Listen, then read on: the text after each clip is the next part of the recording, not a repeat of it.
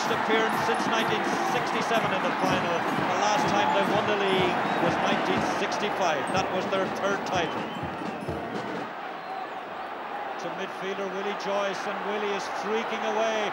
He's now only 45 metres out. And he's got the kick. Has he got the first score? He has from Willie Joyce. Okay, McManus here for Galway. This is Tommy Naughton.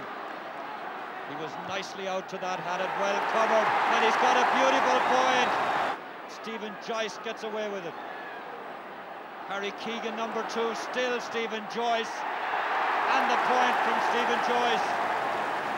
So the Galway bench fairly happy there. Bertie Coleman, Matty McDonagh and Frank Stockwell. Joyce slipped at the wrong moment. Seamus Hayden then to Tony McManus. Good block by Stephen Kinneavy.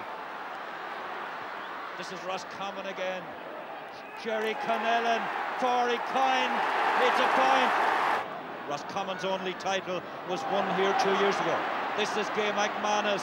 He gets away from Harry Keegan and again from Gerry Connellan. a beautiful goal! What a beautiful goal! Intercepting, then it's taken away from him. Tony McManus. Six is Peter Lee. This is Dermot Earley. They shot a goal! It was Tony McManus, then gave it to Dermot Earley, and Dermot crashed it into the high into the net.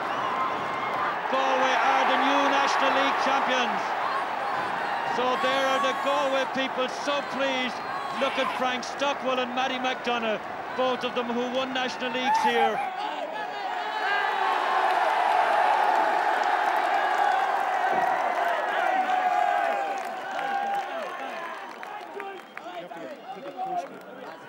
Ar fanna blianta chun chun náisiúnta choráisi gáileh. Anis tá agan